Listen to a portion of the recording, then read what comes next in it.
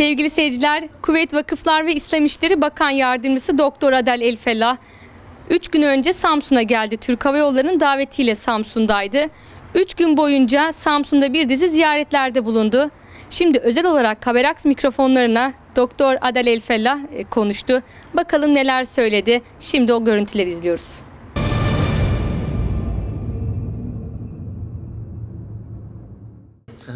Ee, öncelikle hoş geldiniz Samsun'a. Öyle şey ehla fi Samsun. Ee, Samsun'a ilk defa geliyor bakanımız. Bölgemiz ve Samsun'la ilgili ilk izlenimleri nelerdir? Onu çok merak ediyoruz. Samsun'a ilk kez geliyorum ancak çok hoşuma gitti. Karadeniz'e ve yeşil yaylalara, mavi denize sadece bir sefer gelmek yeterli olmaz. Bir değil bin defa gelseniz insan Karadeniz'e doyamaz. Samsun gerçekten çok güzel bir şehir ve buraya geldiğim için çok memnunum. Körfez ülkelerindeki vatandaşların son zamanlarda ülkemize olan ilgisini nasıl değerlendiriyorsunuz?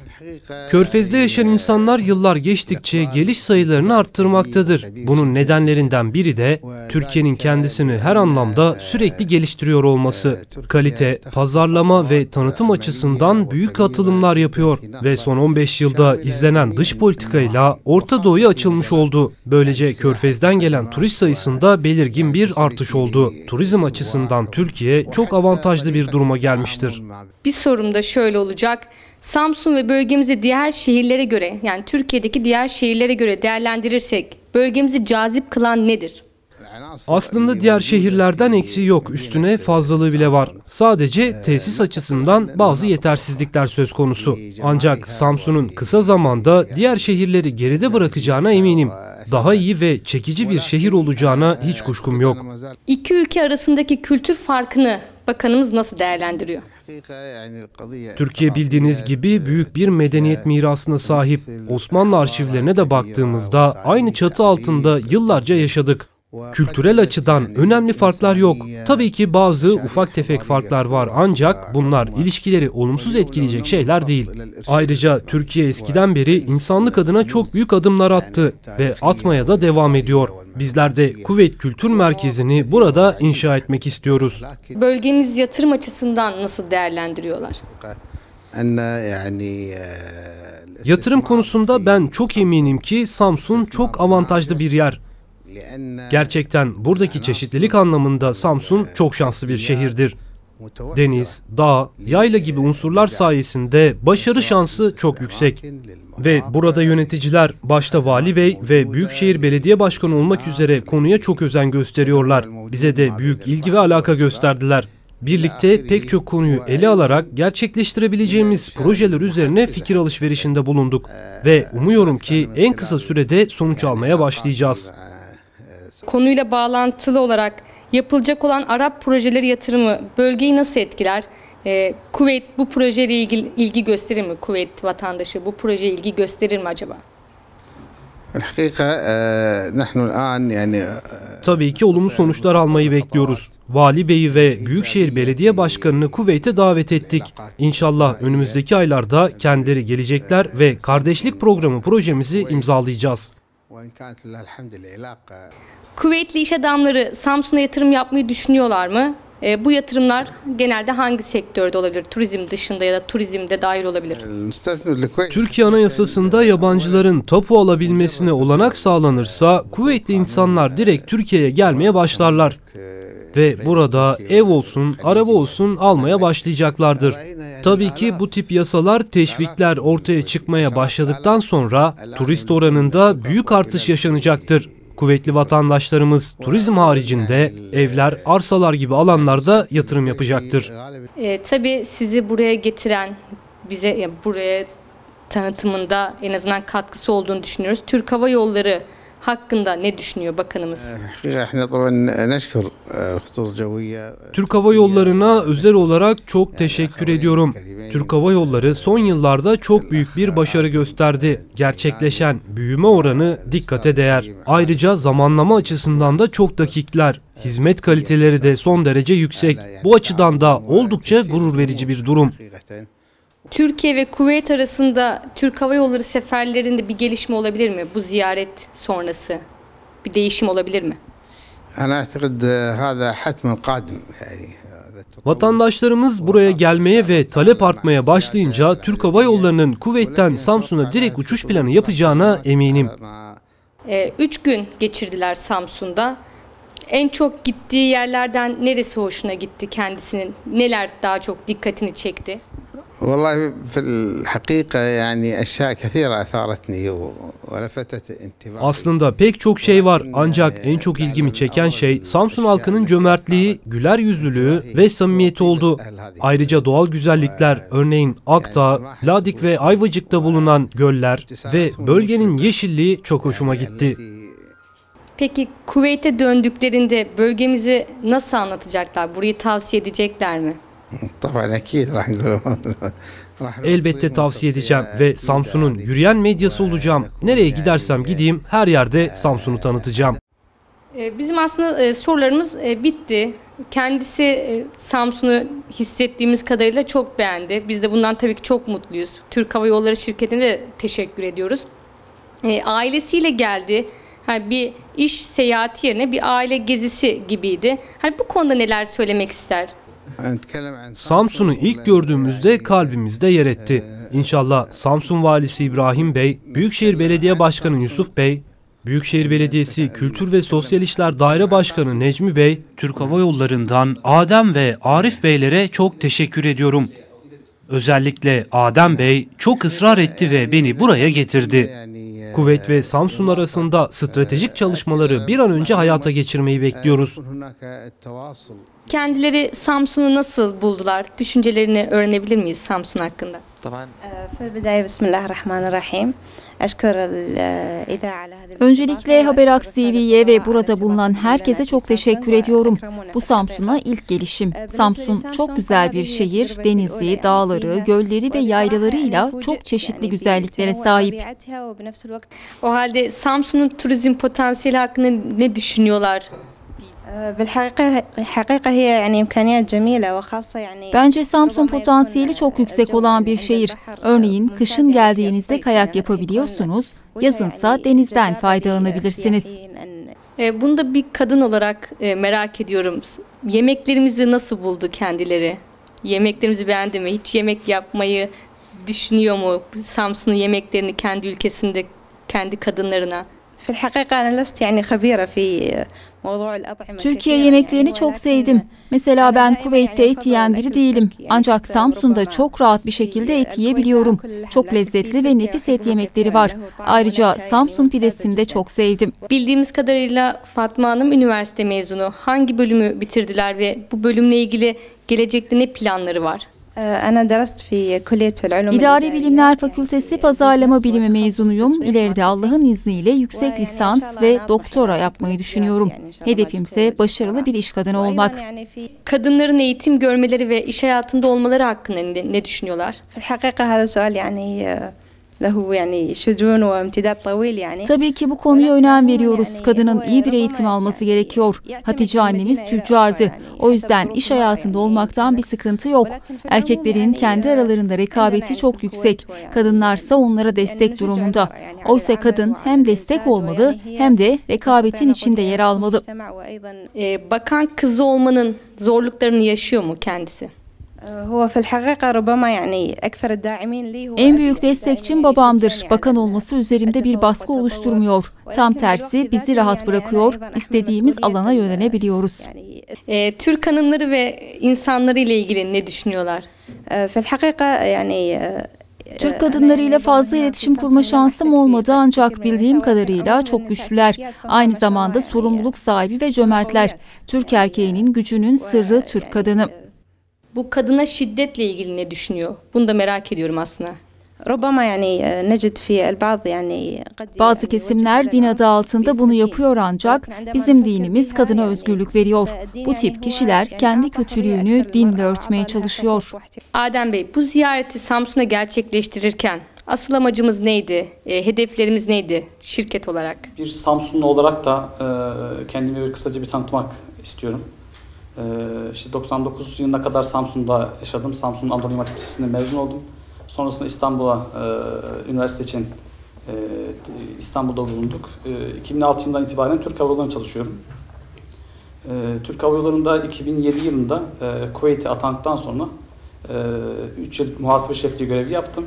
Sonrasında da Kuveyt e, Müdürlüğü görevini üstlendik. Bir yıl önce de e, tam bir yıl önce e, İstanbul'a yeniden dönüş yaptık. Türk Hava, Yolları'nın Ortadoğu ve Kıbrıs Başkan Yardımcısı olarak e, dönüş yaptık. Tabii Kuveyt'te 6,5 yıl e, yaşamış olduk. Bu süreç içerisinde tabii çok büyük dostluklarımız oldu, güzel anlarımız oldu Kuveyt'te. En son işte Arif Bey'le biz Samsun'un tanıtım için neler yapabiliriz? İşte bunları 4-5 ay önce e, görüştüğümüzde e, birkaç aşama belirledik bununla ilgili. Buradaki aşamalardan e, işte birkaç tanesi şöyle. Bir ajantaları e, Körfez ülkelerindeki seyahat ajantalarını Samsun'a getirelim. Onlar öncelikle Samsun tanısınlar ve paket e, programlarla e, Samsun'u orada pazarlasınlar. İkinci olarak da e, basın e, Körfez ülkelerinin en önemli e, gazete ve televizyonlarını Samsun'a getirelim e, diye düşünüp bunu da inşallah önümüzdeki aylarda planlayacağız. E, asıl bir de en önemlisi Körfez ülkelerinde yaşayan e, bu ülkelerin ben size şöyle ifade edeyim. Körfez ülkeleri çok küçük şehirciklerden kurulmuş. Tek şehirden kurulu ülkeler çoğunlukla. E, bu şehirlerde eğer bir şey önemli, güzel bir şey e, yani birisi tarafından yapılıyorsa, özellikle önemli bir kişi tarafından yapılıyorsa kulaktan kulağa duyuluyor, yayılıyor e, ve de e, en kısa sürede herkesin keşfine hazır oluyor. Biz de bu niyetle e, Kuveyt'te bizlere, oradaki Türk toplumuna, ülkemize e, her konuda destekten esirgemeyen e, ve e, çok değerli büyüğü e, biz kendisini abi olarak gördük Kuveyt'te. E, Doktor e, Bakan Vekilimiz, Bakanımız e, Adil Elfelah, Adil Elfelah Samsun'a getirmeyi bu niyette düşündük. Ben e, geçen Acanta programında e, gezi esnasında Ayvacık'ı ilk kez gezdim. Bu Ayvacık gezisinden sonra e, hemen ardından e, Ayvacık fotoğraflarını e, bakanımıza e, mesajla gönderdim. Ve de kendisine e, ilk fırsatta, kendisini ilk fırsatta ailesiyle birlikte Samsun'a beklediğimizi ifade ettim. E, ilk fırsatta tabii ki onlar için e, ilk, e, sömestr tatili yani yarı yıl tatilinde e, çocuklarının işte okulların tatil olduğu dönemde Samsun'a getirmeyi planladık.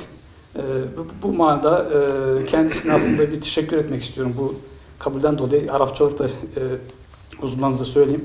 E, doktor işte olan eşkurukum li kabulül daveti yani e, cidden hada mühim lana li Samsun. Cezakallah hayır. Ve, ve ailetüküm yani.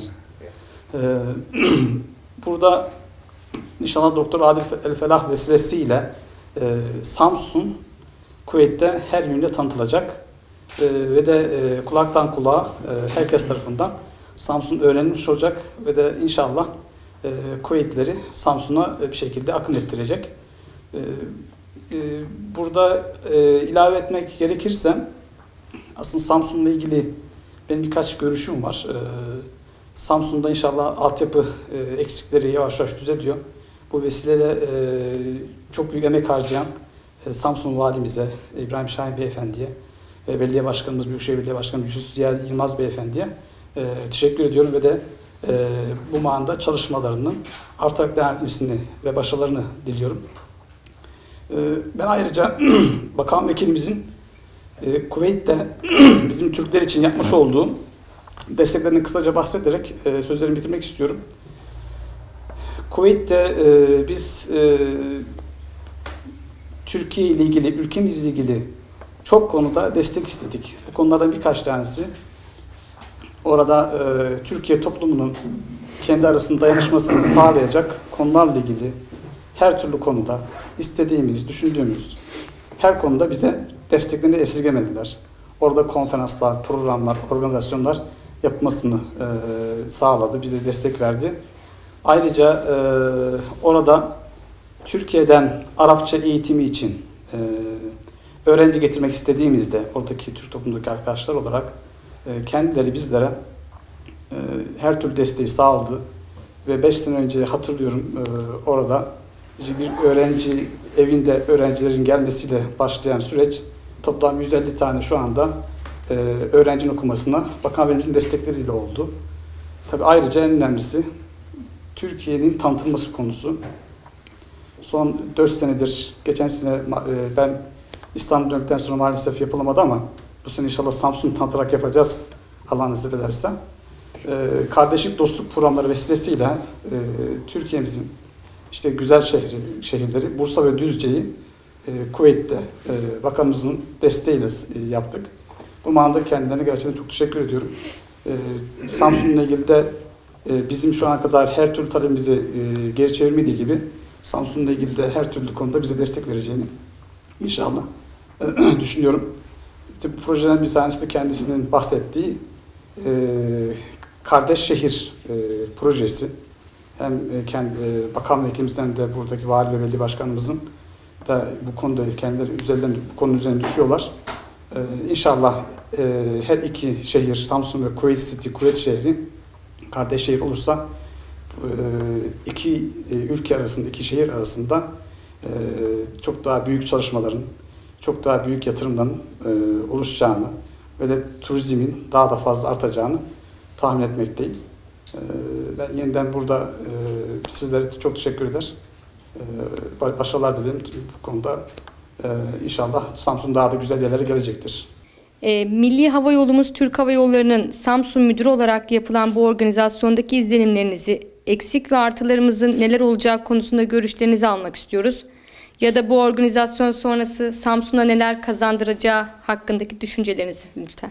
Evet, sözlerime başlamadan önce önce bir teşekkür etmem gereken insanlar var, e, kurumlar var. Onların e, bahsetmeden geçemeyeceğim. Öncelikle Sayın Valimiz çok büyük e, de- destek ve e, şahsi e, e, ilgisini eksik etmeyen, üzerimizden desteğini eksik etmeyen e, Samsun Büyükşehir Belediye Başkanımız, e, Samsun Ticaret ve Sanayi Odası Başkanımız, ve siz değerli e, basın mensuplarına e, burada teşekkür etmeden başlayamayacağım. Çok çok teşekkür ediyorum herkese. Samsun gerçekten biz bu projelere e, başlarken sağ olun hepiniz bütün kurumlar olarak gerek devlet gerek özel olarak hep yanımdaydın, yanımızdaydınız. Çok çok teşekkür ediyorum.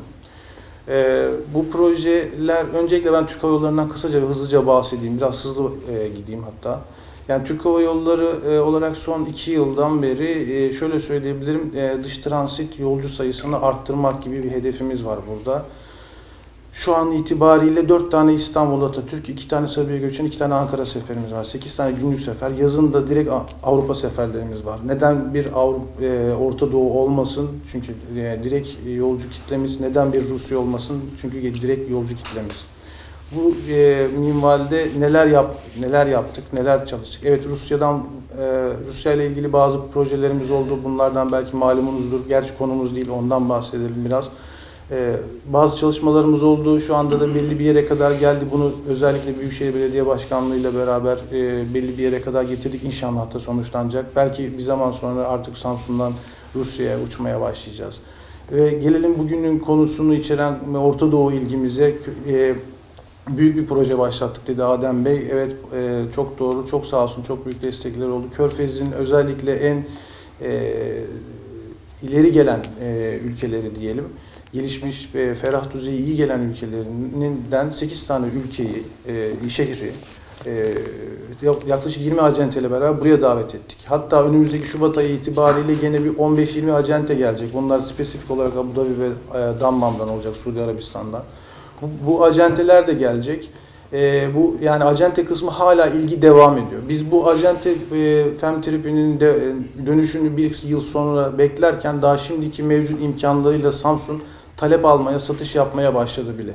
Biz bu ilgiyi gördükten sonra tabii ikinci bacağın olarak planladığımız Nisan-Mayıs ayı gibi olan projemiz var. E, bu da e, e, e, özellikle haber ve medya gruplarına dair e, Adem Bey'in bahsettiği.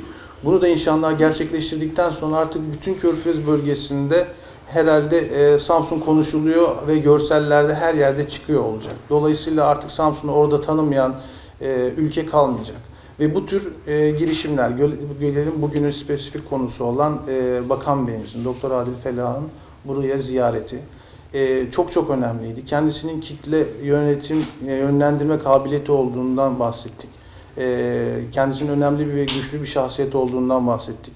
E, kendisinin bize e, neler katabileceğini biliyorduk. Geldik çok şükür çok da verimli, çok güzel 3 gün geçirdik. Yarın sabah itibariyle kendilerini e, uğurlayacağız inşallah Samsun'dan.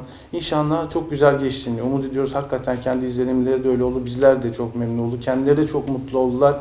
Çok çok farklı şeyler de çıktı. Bizim planladığımız belki iki tane kardeş şehir ve Samsun'u orada tanıtabilir miyiz diye bize yardım etmesi konusunda bir iki tane e, ufak spesifik konumuz vardı. Fakat biz e, bir oturmalarımızda, oturumlarımızda Vali Bey'le, e, Büyükşehir Belediye Başkanımızla beraber sağ olsunlar kendileri bizleri ağırladılar. Buradan çıkan son e, böyle e, brainstorming, yani beyin fırtınalarında çok daha önemli şeyler çıktı. Belki bir, belki yakında e, çok kısa süre içerisinde bizim oraya resmi temaslarımız başlayacak. Belki Büyükşehir, Büyükşehir Belediye Başkanımız Vali Bey oraya gidecekler inşallah. E, bir, karşılıklı olarak hem Samsun'da Kuveyt Kültür Merkezi, belki de Kuveyt'te e, bir Samsun Kültür Merkezi göreceğiz inşallah yakın zamanda. Çok farklı şu anda e, inanın bana e, sayılarını hatırlamayacağım kadar e, güzel e, projeler çıktı. Bunların tekliflerinin ve ilgisi ilginin karşı taraftan Sayın e, Doktor Adil Felah tarafından geliyor olması bizleri çok çok daha mutlu etti ve e, umutlu kıldı. İlave, Bu spesifik olarak ilave 10 tane öğrenci de var mesela.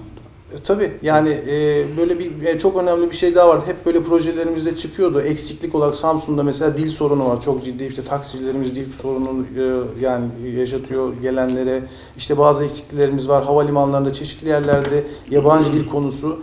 Mesela Adil Felah bu konuyla ilgili Sayın Adil Felah bu konuyla ilgili çok güzel bir e, şey verdi. E, bir spesifik başka bir örnek daha yani altını çizdi Adem Bey sağ olsun.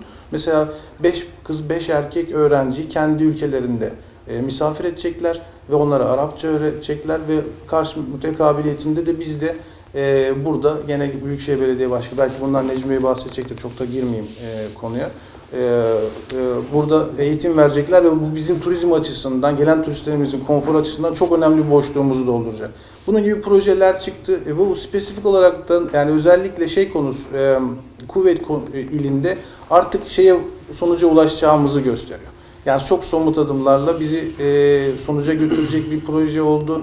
Sağ olsunlar Sayın Adem Bey bu konuda bize çok çok e, destek oldular. Özellikle a, Sayın e, Dok- Doktor Adil Felah Bey bu ve ailesini buraya yönlendirirken e, kendisinin çok özel e, çabalar oldu ve kendisine e, sizin huzurunuzda çok teşekkür ediyorum. Hepinize saygılarımı sunuyorum. İnşallah Samsun için güzel günler, güzel e, bol turistli günler, e, bol transit yolculuğu, e, Türk Hava Yolları uçuşları diliyorum. Ee, Necmi Bey yapılan görüşmelerde de anlaşılacağı gibi Türk Hava Yolları'nın düzenlemiş olduğu e, Samsun tanıtım faaliyetleri kapsamında Samsun Büyükşehir Belediyesi adına Kültür Daire Başkanı olarak katkılarınız çok fazla.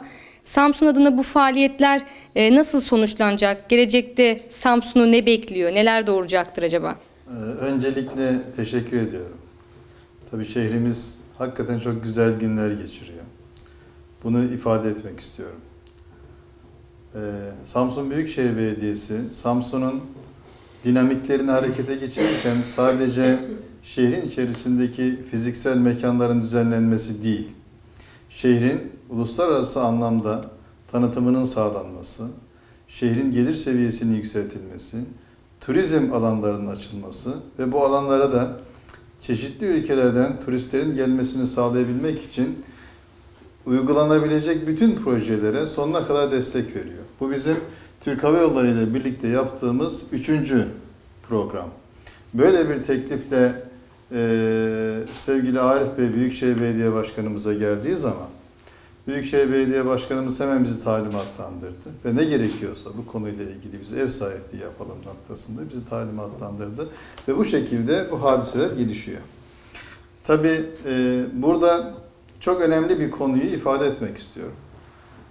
Uluslararası ilişkilerde e, ikili temasların, ikili ilişkilerin, ikili samimiyetlerin ne kadar önemli olduğunu Adem Bey bir kere daha bize gösterdi.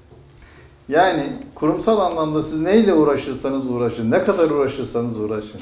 Eğer orada sıcak dokunarak iletişim kur- kurabileceğiniz birileri varsa bunun hakikaten meyvesini çok çabuk alabiliyorsunuz. Bunu e, tabii 2009 yılından beri Samsun Büyükşehir Belediyesi'nin özellikle bazı ülkelerle ilgili iletişim ve ilişki konusundaki sorumlusu olarak da şöyle ifade edebilirim. Bunu Rusya ile olan ilişkilerimizde yaşadık. Yunanistan'la ilgili olan ilişkilerimizde yaşadık. En son şimdi Kuveyt'le olan ilişkilerimizde de yaşıyoruz. Birkaç kişinin orada kurmuş olduğu dostluk ilişkileri inanın o kadar güzel meyve vermeye başladı ki. Ben Samsun'daki e, 30 yıllık bürokratik hayatımın en güzel günlerini yaşıyorum son iki günde. Çünkü iki günde en yetkili ağızdan biz Kuveyt ve Samsun arasında nasıl bir iletişim doğacağını ve bunun hangi neticeleri vereceğini çok güzel hissettik. Somut çıktılar aldık. Sayın Bakanımız dediler ki gelin ilk önce iletişimi sağlayabilecek öğrenci değişimini başlatalım. İlk önce biz ona sponsor olalım. 10 tane öğrenci gönderin, bütün masraflarını biz karşılayalım, orada Arapça öğretelim. Hemen Büyükşehir Belediye Başkanımız da bugün dedi ki siz de bize gönderin, biz de Türkçe öğretelim. İşte bu somut çıktı. Sayın Bakan dedi ki acaba bir yer bulsak biz Samsun'da bir Kuveyt Kültür Merkezi yapabilir miyiz? Bundan daha güzel ne olabilir şöyle bir hayal edelim. Kuveyt gibi milli gelir seviyesi çok yüksek, refah düzeyi çok yüksek olan bir ülkenin bizim şehrimizde böyle bir teklifte bulunması çok somut bir çıktı diye düşünüyorum. Bütün bunların çerçevesinde son olarak şunu ilave etmek istiyorum. Bütün Samsunlular, bütün hemşehrilerimiz gerçekten güzel bir şehirde yaşıyorlar. Ve bu güzel şehrin insanların hepsi de çok güzel insanlar. Ama biraz daha hareketlenmeliler. Biraz daha şehrin dinamiklerini, şehrin entelektüel birikimini, şehrin turizm altyapısını güçlendirmek için neler yapılabilir noktasında kafa yormalılar diye düşünüyorum. Büyükşehir Belediye Başkanımızın, Sayın Valimizin, şehrin irade beyanında bulunan kurumlarının faaliyetlerine destek olmak için biraz daha adımlarını sıklaştırmalılar diye düşünüyorum. Bunun için Kuveyt yani yaklaşık 6-7 yıldır uluslararası anlamdaki yapmış olduğumuz temaslarımızdan Kuveyt'le şu son iki günde yapmış olduğumuz temaslar şunu çok özetle ifade edebilirim ki beni şu anlamda çok umutlandırdı. Samsun Türkiye'nin geleceğinde geçmişinde olduğu gibi çok önemli imzalar atacak güzel bir şehir olarak yerini alacaktır diye düşünüyorum. Teşekkür ediyorum.